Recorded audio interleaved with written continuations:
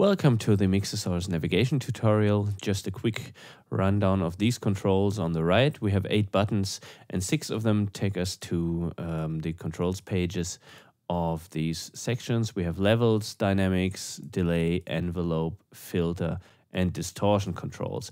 On the top right corner we always have the on-off button of uh, the section that we're currently looking at. Right now it's distortion so it says distortion on off if we change it to the levels section, then it will read levels on off.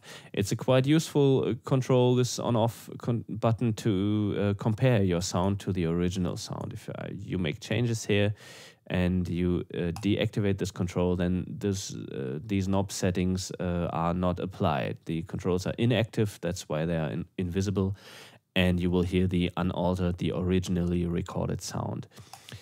good to compare.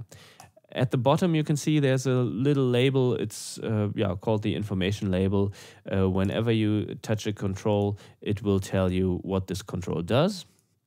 And um, if this is not enough information for you, then um, you would go to the help menu, which is here at the bottom. And there's a feature called help. And if you click it, then these buttons here disappear and they are replaced by a window carrying a more lengthy um, explanation. Yeah, you can scroll down here. Whenever you touch a control, then um, the explanation of this specific control will appear there. Okay, and at the very bottom of each explanation, you will find the information regarding the automatability of this control. Uh, you will uh, then be able to see if this knob is automatable by host automation and MIDI control changes or by MIDI control change messages only. This back button takes you back. And yeah, that's about it. This help menu has uh, a few other uh, yeah, items which are pretty easy to understand.